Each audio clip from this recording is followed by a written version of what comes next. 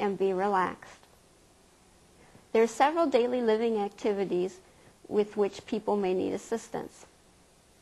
In caring for eyeglasses and magnifiers, you may need to check and ensure on a regular basis that the glasses and magnifiers are clean.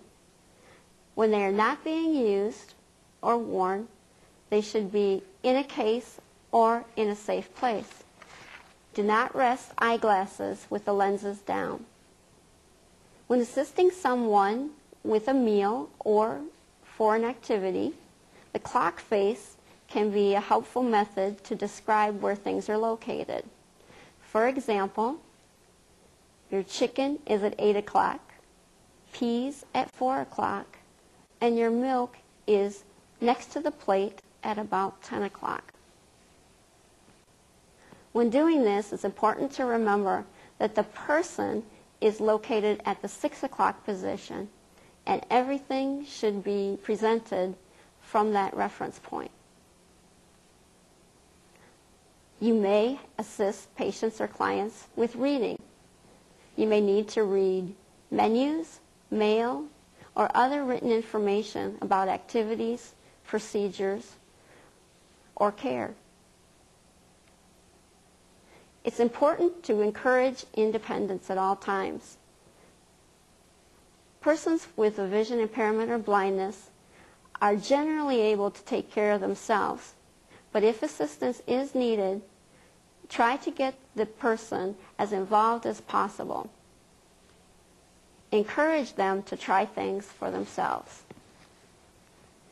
In addition, there are several aids and appliances which can help your patients or clients be more independent. Many people listen to books on cassette tape using a special machine available from the Talking Book Service. Signature guides are used to help the person stay on the line when signing their name. Other writing guides help a person write checks or address envelopes. Dark felt tip pens and bold line paper also help when writing. Many items can be marked in various ways to help the person identify them by touch. Rubber bands, tape, and raised dots are a few things used for labeling. Having talking or large print clocks and watches help people follow their daily schedule. There are many other aids and appliances available to help do a wide variety of tasks. Check with the resources listed in this section for more information. At this time, my colleague, Jerry Niedermeyer, will discuss orientation and mobility skills. I am Jerry Niedermeyer. I'm a certified orientation and mobility specialist at the Badger Association of the Blind Visually Impaired in Milwaukee, Wisconsin. I have a master's degree in blind rehabilitation, orientation mobility specialty, and I've been teaching orientation mobility to uh, clients and individuals for over 25 years. What is orientation and mobility? Orientation and mobility means knowing where you are in the environment at all times and being able to get there safely and efficiently. In other words, we want your patients to get where they want to go and back without getting lost or sustaining injury and to get there on time. There are some orientation and mobility techniques which you may be able to use when working with your patients who are visually impaired or blind. The first is what we call sighted guide. A sighted guide is a person who has sight and walks with a patient with vision impairment or blindness and takes them where they need to go. Here's how we start sighted guide. Have the patient gently grab your arm slightly above the elbow the patient then places himself or herself one half step behind you. You then walk forward with your patient. How fast you walk will depend on how fast your patient can walk. And don't be afraid to walk with your patient and describe activities and happenings occurring around them. Let them know when you are approaching a ramp or even a curbing if you're outside and going to a store or a doctor's appointment, etc. Walking through narrow spaces. There will be occasions, such as in a crowded dining room, when your patient can't walk next to you because of a narrow space.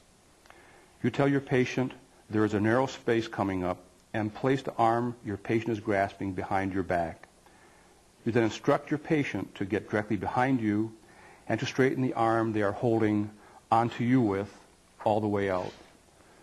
This will prevent them from stepping on your heels as you walk. You are now leading the way through the narrow space for your patient. When you are through the narrow space, simply let your arm drop to the regular position and continue on walking. Stair travel. Stairs are always dangerous. It is very important to make sure you always talk to your patient and let them know when you are going to use a stairway or even a single step, including a curb. So always talk to your patient when you're walking with them and describe their surroundings, especially if they're in un, any unfamiliar areas. For both going up and down stairs, it's important to you as the guide to stop briefly at the first step and let them know if it is a stairway going up or down. Your patient will be right next to you. You then take the first step and proceed at a pace your patient takes. When you reach the landing, let them know you are on the landing and that they have just one more step to take. Seating. When you have reached your destination with your patient, they may need to sit down. When you reach the seat, you can reach across your body with your free hand and gently grab the hand that they are using to hold onto your elbow with, and then place their hand on the back of the chair so they will know where the chair is. You can then assist them in pulling the chair out so they can position themselves to sit down. Before they sit down, however, have them sweep the seat with one of their hands to make sure there is nothing on the seat, such as a spill or a book. For couches, it's best to have your patient contact the front of the couch with the front of their lower leg so they know where it is. They can then turn and sit down on the couch, but first have them check the seat again to make sure they aren't sitting down on anything. When you and your patient are walking in the standard sighted guide position, you tell your patient, we need to turn around and go back the other way. To facilitate that, you have your patient turn towards you. You both turn towards each other and then you have your patient grab the other arm for the guide, guide technique. And this way you're not taking up a large area as you make your turn, just the area that you're standing in. Then you, then you continue on your way. Protective techniques. The upper hand and forearm technique is used when your patient needs to protect their upper body from things like partially closed doors, the edges of doorways, a tall laundry cart, other patients, or even staff. We ask the patient to place either arm at chest level with their elbow bent at a right angle with the fingertips extending to their opposite arm. This will protect their entire upper body as they walk. Generally, we use this for small and familiar areas. The lower hand and forearm technique is used when your patient needs to protect their groin and stomach areas from such things as dining room table corners or other objects at waist-high level. Have the patient place either arm downward and across abdominal area with the hand extended down to the groin area. And your patients can use both techniques at the same time whenever they feel the need to be extra careful. The next technique we use is called trailing.